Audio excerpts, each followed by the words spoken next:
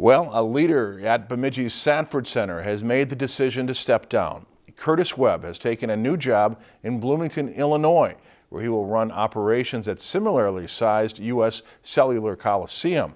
Parent management company VenueWorks began an account with the facility in the last month, and the opportunity was just too good for Webb to pass up, he says. And he says the move will put him closer to family.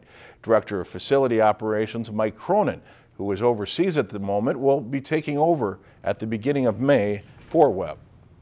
You know, Mike's probably the most advanced uh, knowledge guy here in this building. I mean, he knows this place uh, forward and backwards. Um, there's going to be some areas he needs to grow, and I know one thing about Mike. He's a smart guy, and he'll figure that out. But we'll also need to support him any way we can.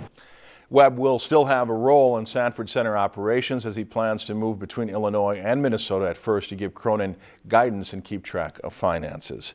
If you've enjoyed this segment of Lakeland News, please consider making a tax-deductible contribution to Lakeland Public Television.